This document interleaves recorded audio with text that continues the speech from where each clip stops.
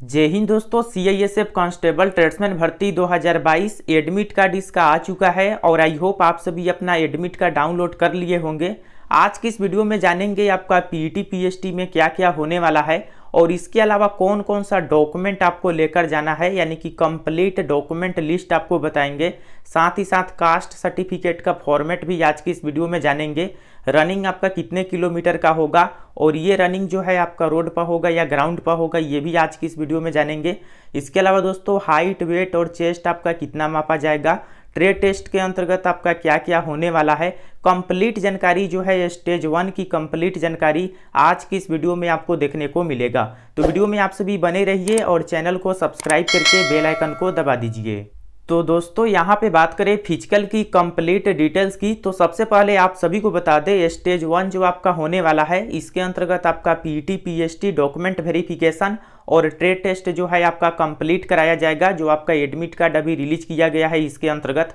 तो यहाँ पे आप सभी को बता दें, इसमें जो आपका हाइट मेज़रमेंट है, वह 170 सेंटीमीटर होने वाला है। इससे कम अगर आपका हाइट है तो आप फ़िज़िकल देने ना जाए, क्योंकि 170 सेंटीमीटर जो है, एक्यूरेट आपका हाइट वहाँ पे मापा जाएगा। इसके अलावा दोस्तों, यहाँ पे फीमेल की बात करें तो एक सौ सत्तावन सेंटीमीटर, और चेस्ट की बात करें तो 80 सेंटीमीटर, और आपको पाँच सेंटीमीटर फुलाकर पचासी सेंटीमीटर करना होगा।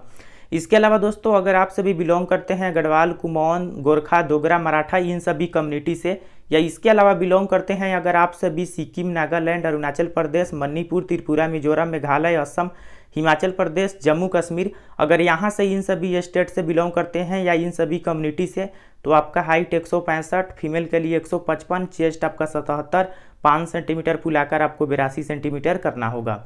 इसके बाद दोस्तों ऑल इंडिया शेड्यूल ट्राइब्स के कैंडिडेट के लिए 162.5 सेंटीमीटर फीमेल के लिए 150 और चेस्ट आपका छिहत्तर, पाँच सेंटीमीटर फुलाकर इक्यासी सेंटीमीटर करना होगा। वेट की बात करें तो वेट आपका हाइट एंड एज के अकॉर्डिंग मापा जाएगा। तो इसके ऊपर मैं एक अलग से वीडियो आप सभी के लिए बना देंगे कि कितना हाइट एंड एज के लिए कितना मिनिमम आपका वेट होना चाहिए।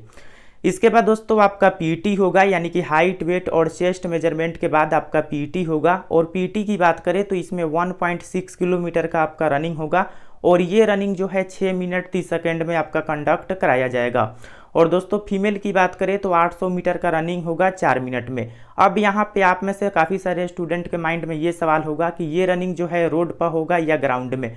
तो दोस्तों, आप सभी को बता दें, ये किसी सेंटर पर जो है रोड पर भी आपका रनिंग हो सकता है और किसी सेंटर पर जो है ग्राउंड में भी आपका कंडक्ट कराया जा सकता है। लेकिन ज़्यादा संभावना है कि आपका ये रनिंग जो है रोड पर कंडक्ट कराया जाए। इसके अलावा दोस्तों, यहाँ पे बात करें डॉक्यूमेंट वेरिफिकेशन के बारे में। लेकिन सबसे पहले आप सभी को बता दें, अग्निवीर आर्मी की अगर आप सभी तैयारी कर रहे हैं तो आपके लिए बेस्ट बुक रहेगा चक्षु पब्लिकेशन का। यह एक प्रैक्टिस सेट है, जिसमें आपको 50 प्रैक्टिस सेट देखने को मिल जाएँगे। और सभी ट्रेड के लिए अलग अलग प्रैक्टिस सेट आता है। जैसे कि soldier GD clerk, technical tradesman, किसी भी ट्रेड की तैयारी कर रहे हैं तो सभी का अलग अलग प्रैक्टिस सेट आता है। आप अपने ट्रेड का जो है प्रैक्टिस सेट परचेज कर सकते हैं और जितने भी प्रैक्टिस सेट है सभी का सोल्यूशन एंड आंसर इस बुक में आपको देखने को मिल जाएगा। तो इसका परचेज का लिंक आपको डिस्क्रिप्शन में मिल जाएगा या नज़दीक के मार्केट से भी जाकर इस बुक को आप सभी परचेज कर सकते हैं। अब दोस्तों, यहाँ पे डॉक्यूमेंट की बात करें कि कौन कौन सा डॉक्यूमेंट आपका जो है इसमें लगेगा। तो देखिए दोस्तों डॉक्यूमेंट में जो है आपका एजुकेशनल सर्टिफिकेट होना चाहिए। एजुकेशनल सर्टिफिकेट में जो है सिंपली आपका टेंथ का जो है मार्कशीट एंड इसके अलावा जो है आपका सर्टिफिकेट दोनों जो है ओरिजिनल आपको लेकर जाना होगा। टेंथ का मार्कशीट एंड इसके अलावा सर्टिफिकेट क्योंकि टेंथ लेवल का ये आपका भर्ती था। इसके अलावा यहाँ पे डेट ऑफ़ बर्थ सर्टिफिकेट की बात करें तो ये ज़रूरी नहीं है क्योंकि टेंथ के सर्टिफिकेट पर जो है आपका ये मेंशन रहता है। तो टेंथ के मार्कशीट या सर्टिफिकेट से किसी से जो है आपका काम चल जाएगा क्योंकि उस पर जो है आपका डेट ऑफ़ बर्थ मेंशन रहता है। अगर आपके पास है तो लेकर जा सकते हैं। इसके बाद दोस्तों डोमिसाइल सर्टिफिकेट तो निवास प्रमाण पत्र जो है आपको लेकर जाना होगा। इसके अलावा दोस्तों कास्ट सर्टिफिकेट और यहाँ पे कास्ट सर्टिफिकेट की बात करें तो देखिए सेंट्रल का कास्ट सर्टिफिकेट होना चाहिए। सेंट्रल का जो कास्ट सर्टिफिकेट है, वो आपको लेकर जाना है, और सेंट्रल का कास्ट सर्टिफिकेट जो है आरओ लेवल एसडीओ लेवल या डीएम लेवल इन तीनों में से कोई आप लेकर जा सकते हैं। लेकिन आप ज़्यादा प्रयास कीजिएगा एसडीओ लेवल या डीएम लेवल का लेकर जाने के लिए, क्योंकि ये बेस्ट रहता है।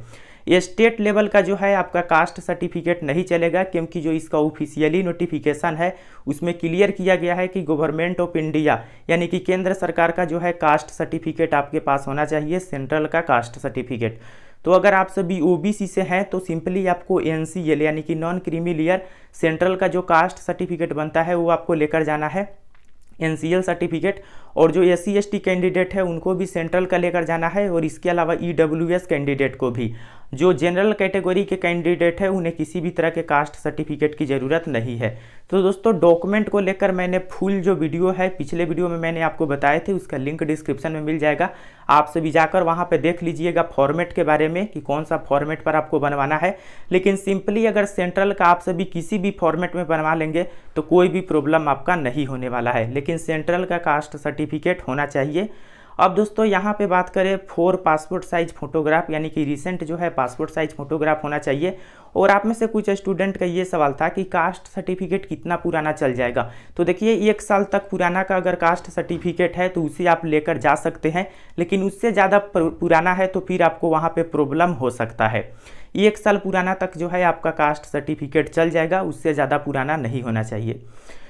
इसके बाद दोस्तों, आपका पासपोर्ट साइज़ फोटोग्राफ हो और इसके अलावा आपका जो है आइडेंटिफिकेशन मार्क्स आप सभी को बता दें, यहाँ पे एक जो है आपका आईडी कार्ड जो है लेकर जाना होगा। आईडी कार्ड में जो है आप सभी PAN card voter ID card या ड्राइविंग लाइसेंस या आधार कार्ड, कोई भी आईडी कार्ड एक लेकर जा सकते हैं। और इसके अलावा डॉक्यूमेंट वेरिफिकेशन के अंतर्गत आपका आइडेंटिफिकेशन मार्क भी चेक किया जाएगा। फॉर्म अप्लाई करते समय जो आइडेंटिफिकेशन मार्क आप सभी दिए थे, जैसे कि ये मोल अंदर नेक, आप अपने अकॉर्डिंग दिए होंगे तो वो भी आपका चेक किया जाएगा।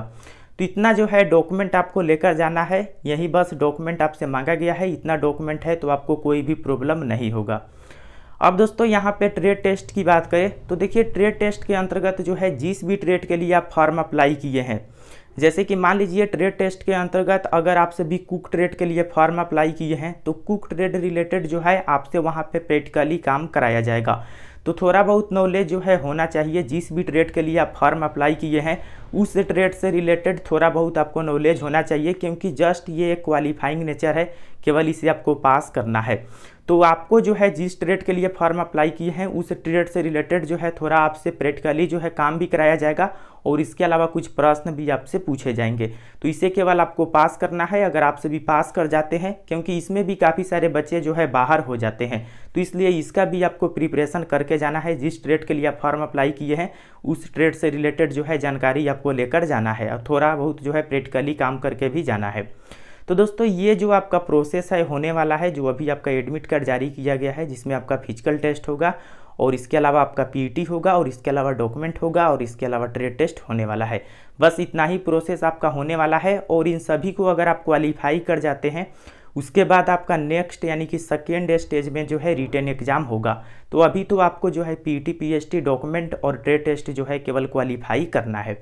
तो आई होप आप सभी समझ गए होंगे, मैंने कंप्लीट डिटेल्स आपको इस वीडियो में बता दिए हैं। और एडमिट कार्ड अगर अभी तक आपने डाउनलोड नहीं किए हैं तो लिंक डिस्क्रिप्शन में आपको मिल जाएगा। आप सभी जाकर एडमिट कार्ड डाउनलोड कर सकते हैं और आपका फ़िज़िकल पाँच चार से लेकर उनतीस चार दो तक चलेगा। फिर मिलते हैं नेक्स्ट वीडियो में, तब तक के लिए जय हिंद, वंदे मातरम।